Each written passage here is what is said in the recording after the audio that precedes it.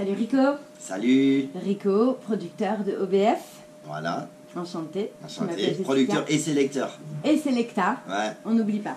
C'est hyper important. Conducteur aussi. Ah Constructeur. On fait tout dans le centre système. Mhm. On Ouais. touche à tout. Ah ouais, on va en parler. Là, déjà, on va revenir au début du- de la formation du groupe, en 2002 donc. Qu'est-ce qui s'est passé cette année pour que vous ayez, euh, pour que vous ayez l'idée de créer OBF Bah écoute, avec, euh, on avait de la chance à Genève d'avoir une scène alternative très riche. Et il y avait beaucoup de squats. Et dans ces caves de squat, il y avait tous les jours, pas tous les jours, mais souvent, chaque semaine, plein de soirées différentes. Hip-hop, reggae, punk, voilà, tous les styles. Hmm. Et on avait de la chance, nous, d'habiter à côté de la frontière euh, genevoise. Et le premier, le squat qui, qui se trouvait le plus près de chez nous, c'est le Goulet. Et dans ces caves, c'était les soirées reggae et hip-hop, funk aussi. Donc voilà, euh, c'est ça qui nous a donné envie à moi et Guillaume Mhm. de collectionner des vinyles, d'écouter du reggae chez nous et après de le jouer pour les potes. C'est ça qui nous a matrixé. Ah ouais, donc vous vous connaissez depuis toujours en fait depuis. Non, euh, pas depuis toujours, depuis le lycée. D'accord. Il était dans une classe, euh, il était plus âgé que moi, Mhm. mais on a eu des affinités. D'accord. Voilà. Donc là, vous êtes 6, 5 mecs, une fille. Alors à la base, il y a Guillaume, moi-même, Rico. Ouais. Steph nous a rejoint après. Ouais. Bon, avec Guillaume et Rico, on a créé le, le, le Sound System, trouvé Original Bass Foundation, acheté les scuds. Steph est, est côté organisation. Mhm. Et euh, après, il y a Chantilly qui nous a rejoint. Et plus tard, il y a Charlie P, Senior Wilson. Et récemment, Belen Nathalie et Junior Roy. D'accord, donc Voilà. tout ce qu'on entend sur cet album là-bas. Exactement. Et Nazamba, qui est parti maintenant, Rest in Peace. Mais Il là, avec nous a quitté, paix à son âme. Pourquoi avoir choisi, choisi ce nom Original Bass Foundation? Parce que le reggae music, ce qui nous a kiffé dans le reggae music, c'était c'était vraiment la, la basse, cette mélodie entêtante, cette, cette ligne de basse qui, qui, te- qui te faisait rentrer dans une espèce de transe avec les, les paroles dessus qui arrivaient, qui, qui vraiment ça te matrixait. hein. Et euh, voilà, c'était ça la, la, la, basse, cette basse originale qui, qui, qui, qui contrôlait les foules, qui contrôlait, euh, qui nous contrôlait. euh, c'est ça qui nous a fait Hmm. vibrer. Ouais, Parce que c'est Voilà. toujours en rapport avec le rythme du cœur. Comme tu dis. Ouais. euh, C'est ça, rythme du cœur, rythme des euh, percussions, rythme de la mm. terre, rythme. hmm. Voilà. Ah ouais, le thème matrixé, c'est un peu comme si. Bah, nous, ça nous a, à l'époque, voilà, quoi. ça nous a transporté, exactement. Hmm, D'accord, ok. Du coup, euh, est-ce que tu as une anecdote? Euh, on, re- on revient donc 20 ans auparavant. Ouais, ouais. Euh, L'invention, donc euh, le, le nom OBF. Oui. Euh, Est-ce que tout le monde a été d'accord de suite? Alors, c'est, en fait, j'avais, j'avais amené un nom et euh, on n'était pas très sûr. Et c'est Guillaume qui a trouvé ça Original Base Foundation. D'accord, en anglais. Voilà, exactement. Donc, Guillaume a trouvé ce nom. Et au fur et à mesure, c'est, c'est, c'est long à prononcer, Original Base Foundation. Donc, je sais pas qui a trouvé OBF, OBF, OBF. Ouais, Et après, les gens ont, commencé à dire Mm. OBF, OBF, OBF. ouais, logique, les Et initiales. voilà, et c'est parti. et puis, et puis c'est votre Voilà. marque de fabrique maintenant, on le voit partout. hein. devenu, euh, Même sur votre sound, il y a la Exact, marque qui est signature. posée, c'est la signature, c'est c'est excellent. Euh, quelle était votre moyenne d'âge à l'époque du coup, puisque vous étiez lycéen? Eh ben, on a terminé à 18, ouais, 18 ans. 18 ans, on a commencé à- après le lycée, on a commencé à acheter des, des, des vinyles, on partait faire du, du, du- Guillaume est parti à Lyon pour euh, étudier, moi je suis parti euh, travailler. Et, euh, Ah, Vous êtes tous de la même région, à côté de la Exactement, Suisse, exactement. Ouais, Almas, autour de Genève. hein. D'accord. Et du coup, on est parti travailler. Guillaume était sur Lyon. Et moi, on, enfin, on commençait à acheter des, des, des scuds vraiment avec les, des petits moyens qu'on avait.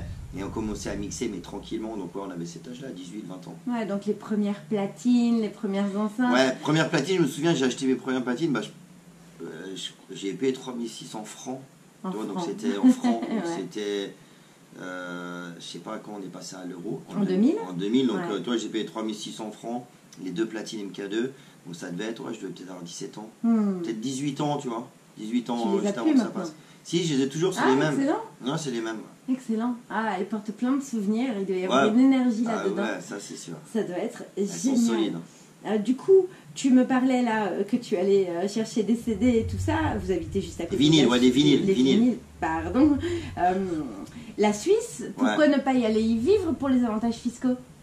Ben, parce qu'on est allé vivre, pas pour les avantages fiscaux, pour être au cœur de la scène culturelle alternative, Uh-huh. qui offrait justement à des personnes comme nous, qui, qui étions un peu précaires à l'époque, et puis on pourrait dire on est encore un peu précaire aujourd'hui, euh, mais on a le statut d'intermittent aujourd'hui. Mais à l'époque, quand on devait travailler et on aimait en même temps la musique, c'est difficile d'aller Mm. les deux. Du Mm. coup, à Genève, il y avait la possibilité de squatter, d'occuper des, des immeubles vides Mhm. pour créer des ateliers, créer ses propres soirées, euh, faire des liens avec la communauté, avec Mhm. des autres communautés. Et du coup, euh, voilà, on est à l'habitat à Genève. voilà, par contre, on était pas, on était sans papier, Ah oui, pas sans papier parce qu'on a. vous êtes tous en est- Suisse maintenant? Non, non, non, on est revenu euh, du côté de, de la France Ouais, euh, une vous fois que les squats.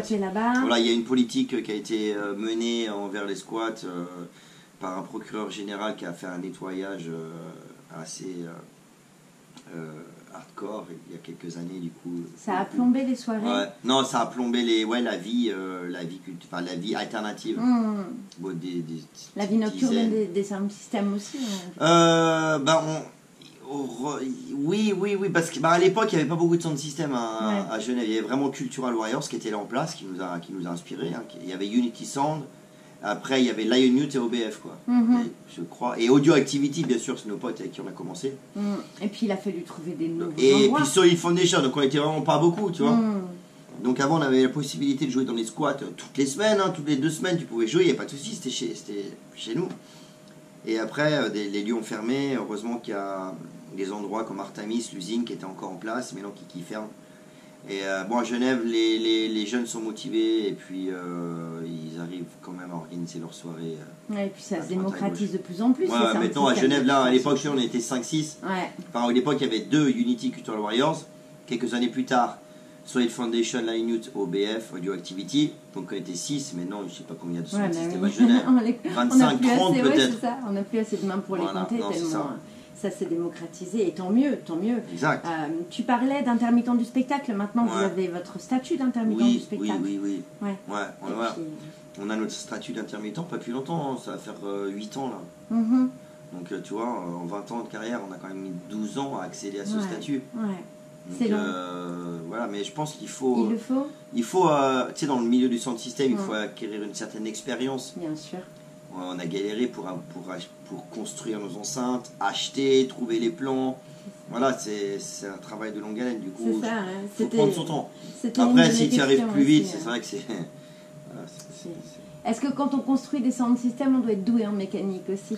Bah, il faut mettre les mains dans le cambouis, hein, crois-moi. C'est Il, faut, il, faut, il faut savoir tout faire, c'est sûr. c'est sûr, On sûr. parlera de questions qui fâchent tout à l'heure. Là. de. Euh, vous êtes organisateur de soirées Oui. depuis 2006. Ouais. Vous faites aussi de la sonorisation de soirées, euh, entre autres production de documentaires. Ouais. Vous êtes vraiment touche à tout. Euh, Est-ce qu'on peut s'attendre à un livre qui racontera l'histoire d'OBF Écoute, pas un livre qui racontera l'histoire de BF, mais on a des projets pour le futur. on va pas encore en parler parce qu'on a Ah déjà non. tellement de projets actuels C'est ça auxquels on doit faire la promotion, que, mais on a des idées euh, dans le coin de la tête. euh, voilà. il- Qui sont on est- rangés, qui Ouais, qui sont rangés et peut-être que, voilà, dans le futur, il y aura peut-être quelque chose euh, Ouais. sera. Vous êtes, vous êtes tous hyper actifs ou il y en a quelqu'un, quelques-uns dans le groupe qui sont à la traîne derrière ceux qui mènent Bah écoute, euh, ap- après, les personnes qui sont hyper actives, ils sont vraiment hyper, hyper actives. Du coup, je peux comprendre que certaines personnes n'ont pas la même euh, énergie. Ouais, Voilà. ça, ça se comprend. Chacun va à son rythme. Voilà, exactement. Tant que ça va dans la même Ouais, direction. Euh, on va parler du Covid maintenant. Euh, comment, vous avez comment vous avez vécu cette période-là? Qu'est-ce que vous avez fait? Est-ce que ça a été productif, positif pour vous?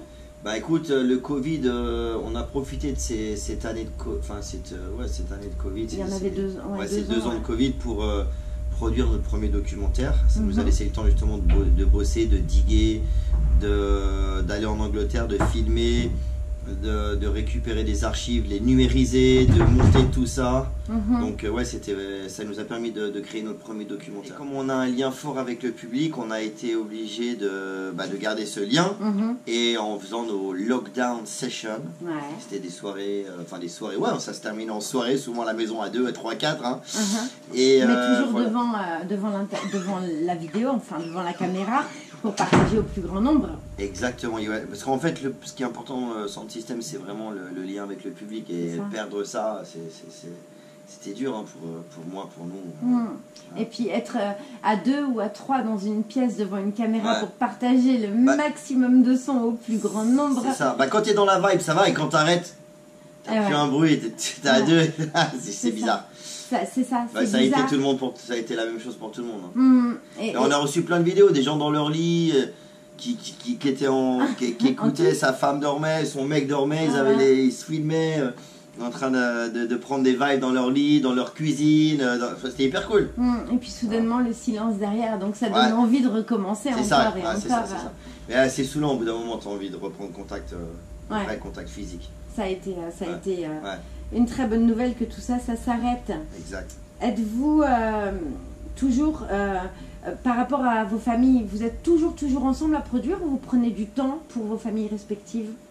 Euh, tu veux dire la famille euh, Bah, Vos familles à vous, euh, si vous avez construit des familles, Ah, non. simplement, vos chéris. La famille, bah la famille, on- nous on est ensemble. euh, la famille, c'est la famille OBF. hein. La Je sais que famille certaines OBF. personnes, c'est dur hein, pour, euh, Ouais. pour eux parce qu'on est vraiment tout le temps. Enfin, on est, on est, on est La famille musicale. Ouais, nous c'est la famille musicale, c'est Mm. pareil que la famille, Ouais. que la famille de, de sang. Mais vous prenez quand même le temps, des fois, d'aller voir vos parents. Ah, bien sûr, ouais, Non, bien sûr, bien sûr, bien sûr, exactement, exactement, ouais. Non, parce que des fois, nous on dit la famille, la famille c'est vraiment la team, hein, c'est la, la famille OBF, c'est la team. C'est l'équipe. Mais les parents aussi font partie de la famille, hein, Mm. la famille OBF. Ouais. Oui, bien sûr, on prend du temps pour eux, hein, bien évidemment, euh, évidemment, il faut. hein. Et puis ils sont obligés des fois aussi de subir tout ce que vous leur faites subir. Donc, euh, Bah, ils kiffent, hein, ils, kiffent hein, ils, sont, ils sont très contents de voir ce qu'on a, ce qu'on a, ce qu'on a créé, parce que tu sais, au Mm. début, peut-être en tant que parent, tu te poses des questions. mais oui, Tu dis, euh, tu sais, des fois, tu dis, ah, peut-être qu'un travail. plus- Entre guillemets plus- normal, Entre guillemets normal. c'est Alimentaire, comme Voilà, alimentaire, euh, c'est ça. C'est- Là, ça, t'as choisi une, une, une direction, un chemin qui est pas, qui est pas facile. Après, ils savent que, que, que j'en veux, quand j'en voulais, que j'en voulais, du coup, euh, ils sont très contents maintenant. Ils sont Je- fiers maintenant Voilà, exactement. ouais, Ils viennent, ils sont venus aux soirées récemment, ils viennent aux soirées. ouais. félicitations. Voilà. C'est bien, c'est ça la réussite. Exact. C'est quand on réussit d'abord euh, euh, au- au fa- en face du regard de ses parents. Exactement. C'est c'est la plus grande réussite. Là, ce soir, on est à la Rock School Barbet. Ouais. Est-ce que vous connaissez Bordeaux? Bien sûr, bien sûr. À Bordeaux, on a une grande histoire d'amour avec Bordeaux. En fait, quand on habitait dans, dans, dans notre squat à Genève, les premiers guests, invités, international, artistes internationaux qu'on a invités, vous savez d'où ils ils venaient De Bordeaux, Usine à Dub, qui sont des légendes du dub en France. Ouais. Voilà les petits, les petits de, de improvisateurs dub, Mhm. manutention, toute cette famille-là. Usine à Dub, du coup, Bordeaux, c'est une histoire d'amour depuis le début. Et tout le monde vient ce soir, toute la famille. Ça fait 20 ans qu'on se connaît. Génial. 20 ans qu'on se voit tout le temps. Ils doivent être super contents de, Ouais, moi, je suis trop content de les voir. euh, Je suis trop content de voir ma famille. hein. ouais. C'est ma famille. Ouais. Ici, on parle de famille, c'est ma famille. C'est ça, c'est la team OBF euh, XXL. Voilà. Donc Lava, c'est euh, le Lava Tour, euh, Oui. le nom de votre dernier, tout dernier album. Pourquoi l'avoir appelé comme ça? Lava Alors, Lava, vraiment, en fait, parce qu'on a, on a construit cet album, donc je composais les morceaux en studio, il y avait tous les MC avec moi dans, dans les chanteurs, MC dans, dans le studio. Et en fait, quand on se retrouve ensemble, c'est vraiment une, une, En fait, c'est comme s'il y avait des plaques tectoniques qui se rencontraient, il y avait une éruption d'idées. Mhm. Et du coup, euh, cette éruption d'idées, eh ben, on a voulu, après on vient déverser notre lave en soirée. C'est ça. Tu vois Donc voilà, cette éruption volcanique euh, transformée en musique, euh, enfin cette éruption en musique, ouais, voilà, c'est une des éruptions Ouais, Lava, quoi. d'idées, voilà, de lave. c'est toi qui as eu l'idée? Oui, j'ai eu l'idée de, d'appeler cet album là-bas parce que c'est vraiment ce que, c'est ce que je ressentais en fait. Hmm. J'en ai parlé à tout le monde, tout le monde a oui, bah, c'est ça. Bah oui, tout de suite c'est évident, Ouais. bien sûr. Comme tu l'expliques, en plus c'est évident. Moi ça me faisait penser à la courbe de son euh, sur l'ordinateur. Ah ouais, Un les, petit les, peu, euh, les- les la ondes. typographie. Mhm, Exactement. Quand il y a les basses, quand ça monte comme ça. euh, on peut s'attendre euh, du coup avec euh, ce que tu nous disais tout à l'heure, les nouvelles collaborations qui sont arrivées dans la famille OBF, Nazamba, euh, avec sa voix si particulière, Mhm. paix à son âme, Sir Wilson, Sir Wilson, du coup, Charlie P, Nathalie Belen, encore une femme, elles sont rares dans le monde du dub. Ouais, c'est vrai, C'est, euh, vrai. On aime, bah, on aimerait hein, qu'il y ait- Et je crois des- il y a de plus en plus de crews maintenant qui se forment. Mais comment ça se passe euh, dans vos têtes quand vous avez envie d'un chanteur ou d'une chanteuse À nous, c'est que la, c'est que la famille. Ouais. C'est qu'avec la famille qu'on travaille. Donc Nathalie Belen, vous la connaissiez depuis longtemps En fait, aussi euh, ça se c'est- On a rencontré Chanty dans une soirée à, on- à- à Lyon, Paris. On l'a invité ensuite à Genève et du coup, on a passé beaucoup de temps ensemble. Ensuite, Charlie, Charlie P, on a rencontré dans une soirée à Nantes. On a vu qu'il y avait une, euh, quelque chose, qui, un courant qui se passait entre nous. On voyait qu'il déchirait. Il voyait, ah, ils sont pas mal aussi. Mhm. On dit qu'on est là, faut qu'on travaille ensemble. Mhm. Et ça a été pareil pour Wilson. Il faisait notre introduction avec un autre sound system à Barcelone. On voyait qu'il défonçait le mic. Après, il nous avait aussi défoncé la soirée. Il a fait, ah, peut-être qu'on devrait travailler ensemble. C'est juste qu'on a, on a, on a tellement faim, on a tellement une, une ambition, une énergie euh, débordante que dès qu'on se rencontre, il, il y a une alchimie qui se fait Ouais, et on fusionne. Voilà, et c'était Mm. pareil pour, euh, pour, Belen, euh, pour Belen Nathalie récemment. C'est- Et pour Junior Roy aussi. Si vous deviez choisir entre le dub ancestral et les effets analogiques utilisés à l'époque par les pionniers hein, dont tu parles, et la MAO actuelle. Ouais, bah nous, ça, nous on a vraiment, c'est l'entre-deux parce qu'on utilise la MAO pour construire, mais après Mhm. on amène tout ce mat, enfin, ces, ces, cons- ces compositions numériques sur le matériel analogique. Ouais, ça. On mixe ça sur du matériel analogique. Hmm, Voilà. donc il y a du jeu de potard et du jeu d'ordinateur en même temps. Et, C'est et la c'est ça qui fait votre patte aussi. Exactement. C'est euh, c'est ça qui est génial. C'est on peut avoir des sons qui viennent des années 70-80 avec des sons totalement modernes de ça, des sons maintenant. du futur passés dans le matériel demande, analogique. voilà, exactement. On se demande où vous les trouvez ce son-là. C'est, euh, C'est génial. C'est ça Ça nous transporte. Bravo quoi.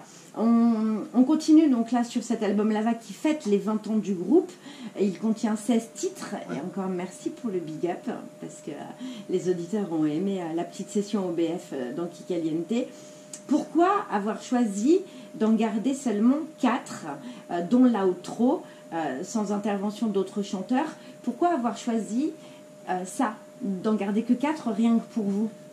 Euh, bah c'est pas non c'est juste qu'en fait parce que comme il y a beaucoup de choses à dire on a beaucoup de choses à dire au niveau euh, des, des lyrics des paroles Mhm. et puis toute la team a envie de s'exprimer du coup euh, on pouvait pas faire seulement un, un album sans lyrics ou que de que Que de instrumental son. Ouais. ouais. Mhm. Ses par paroles, contre en soirée ouais on, mais on, on a il y a vraiment une, une interaction entre chacun tout le monde amène ses idées Ouais. des idées de chorus des idées de mélodie des idées de tout Et puis ouais, du coup il y a de l'impro, beaucoup d'impro Ouais, qui se ouais. fait. hein. Ouais, bah surtout en, en fait, les, les chanteurs euh, qui viennent de la scène sound system, eux, leur spécialité, c'est l'improvisation. Mhm, c'est ça. Voilà, donc euh, voilà, sur l'album, c'est pas de l'improvisation, puisque, enfin, parce que c'est travaillé en studio, on écrit, Ouais, on il y prend a le des temps. idées Voilà. qui sont données. Et après, par contre, en soirée, on fait évoluer les morceaux, souvent dans, avec une partie instrumentale, Ouais. dub mix. Ouais, Voilà. ouais, c'est ça.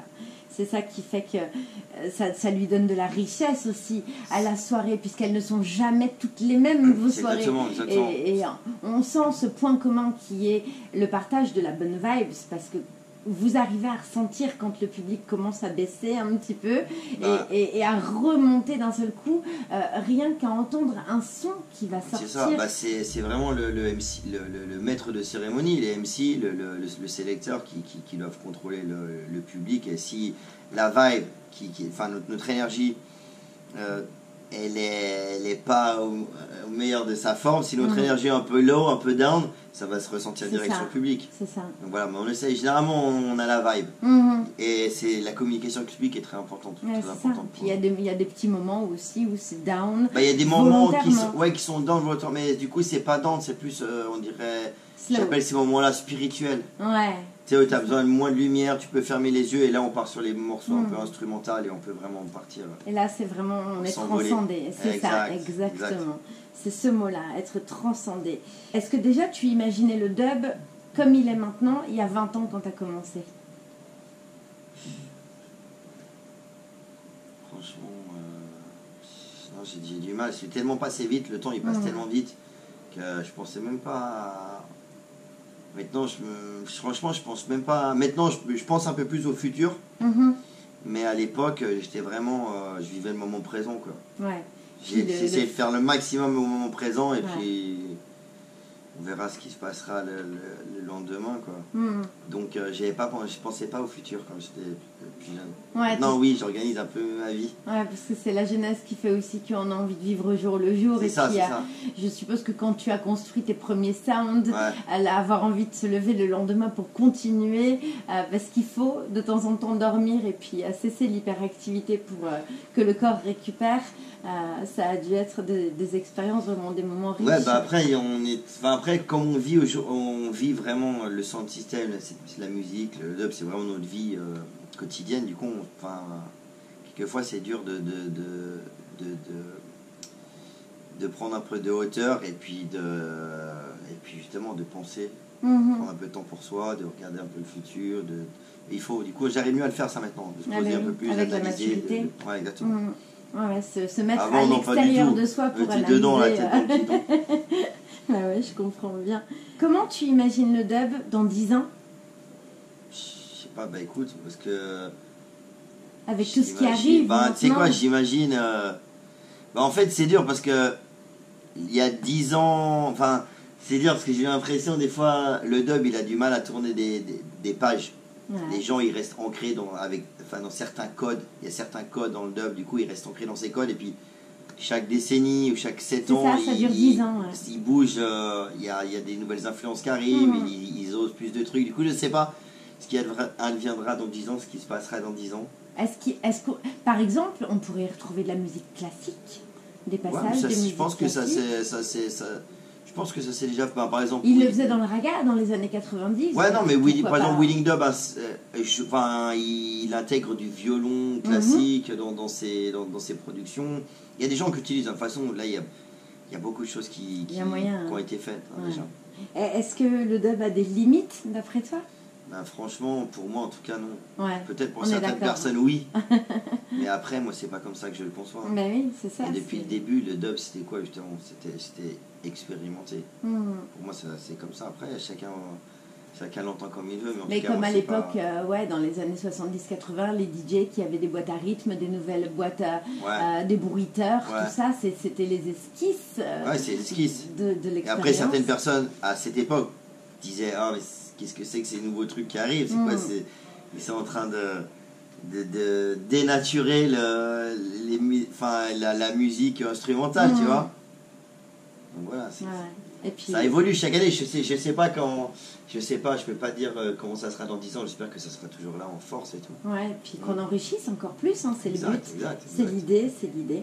Euh, du coup, bah, on va finir avec euh, ces titres-là, hein, Vampire Dance, Ouais. Tree, Lighter, One More Puff, Eruption Dub et L'Outro, euh, qui sont extraits de cet album Lava qui contient 16 titres. Ouais. Comment vous dire que moi j'ai kiffé tout l'album et les ambiances dans lesquelles vous nous transportez. Merci, merci. Merci beaucoup. Euh, merci à toi Rico. Est-ce que c'est toi qui as choisi tous les titres et combien de temps vous avez mis pour le faire cet album? Alors j'ai construit les morceaux euh, en amont. Tu sais, je construis, je suis souvent dans le studio. Du coup là j'avais construit euh, pas, pas mal de morceaux, des esquisses, hein, quelquefois des esquisses. Mhm. Et après quand on est en studio avec la team, du coup on revoit des morceaux, on en choisit, on réédite, on refait des mélodies, on réadapte. euh, donc ça a été une année, une année pour Ouais. concevoir l'album, pour le mixer après. Ouais, ça a duré une année. Et, et durant cette année-là, tu as eu des éclairs de génie où tu t'es levé la nuit parce que tu avais une idée Ah bah- comme ça Ah bah ça, ça m'arrive, ça, ça m'arrive souvent. Tu sais, des Ouais. lignes de base, des mélodies, des, ouais, ça m'arrive souvent ça. Ouais, ça J'ai un bon. téléphone plein de, de voice notes, Ah, de messages vocaux. tu, tu mets ça dans ton téléphone toi Ouais. aussi Ouais, il y a beaucoup d'artistes maintenant qui utilisent la nouvelle technologie, euh, ça- qui sont plus très très proches du papier et du crayon, mais euh, Bah ouais, ouais, ouais. Non, mais c'est vrai que des fois, c'est c'est c'est plus pratique, c'est C'est pratique. tellement plus pratique, c'est voilà, c'est pratique. ça, rapide et pratique. Euh, juste un petit euh, merci pour le behind the scene sur le titre Dub Club avec euh, Junior Roy.